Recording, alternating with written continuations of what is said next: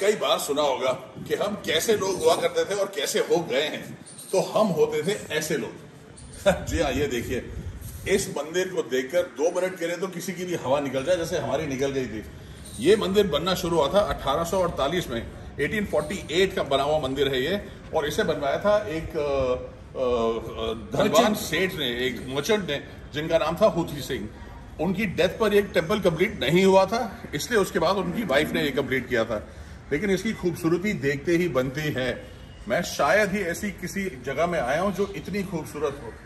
एकदम stunning beauty जैसे कहते हैं, एकदम दिल हिलाने वाली, एकदम चौकन्ना करने वाली खूबसूरती है यहाँ पर।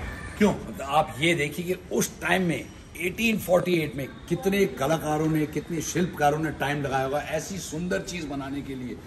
हर डिटेल जो इसका है, ताकि वो जाली है या मतलब जो ये सीढ़ियाँ हैं, यहाँ पे इतनी सुंदर है।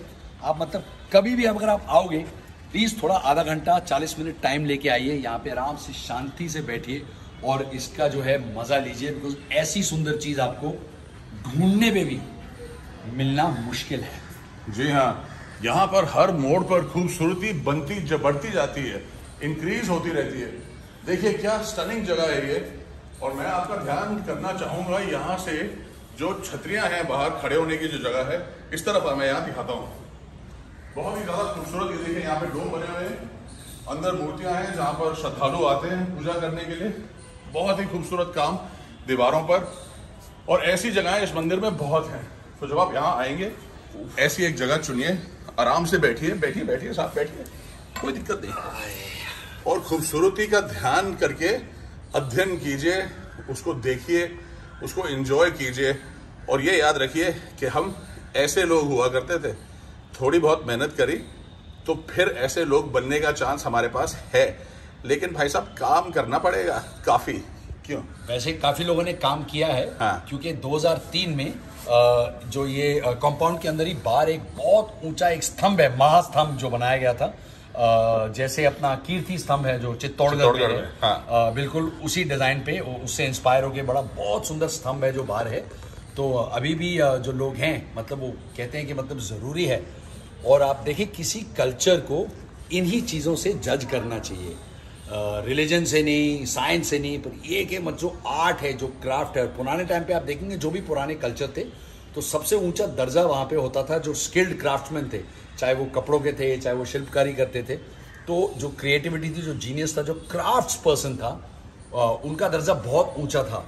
तो अब आप सोचिए कि आजकल की दुनिया में तो जो है, जो बैंकर है, जो लॉयर है, वो तो मतलब उनको बड़ा ऊँचा दर्जा माना जाता है। और ये सब जो चीज़ें हैं, जो डाइंग आर्ट हैं इन सब चीज़ों में, जो हमारे पास इंडिया में इतना था, इतना हम भूल गए कि मतलब बाकी दुनिया में आप सब मिला के करेंगे तो उतना उन्होंने सीखा भी नहीं अभी, जितना हम भूल चुके हैं।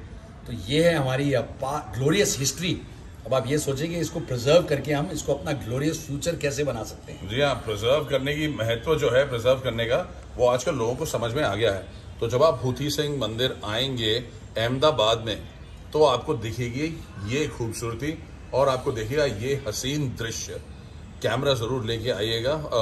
वो कैमरा तो खैर आप अंदर नहीं ला सकते, लेकिन फ़ोन से तस्वीर ले सकते हैं। तो तस्वीरें खूब लीजिएगा। आधा पौना घंटा यहाँ बिताइएगा। शांति बहुत है, जगह बहुत ही खूबसूरत है और बड़े ही प्यार से, बड़े ही इतमान से बनाई गई है।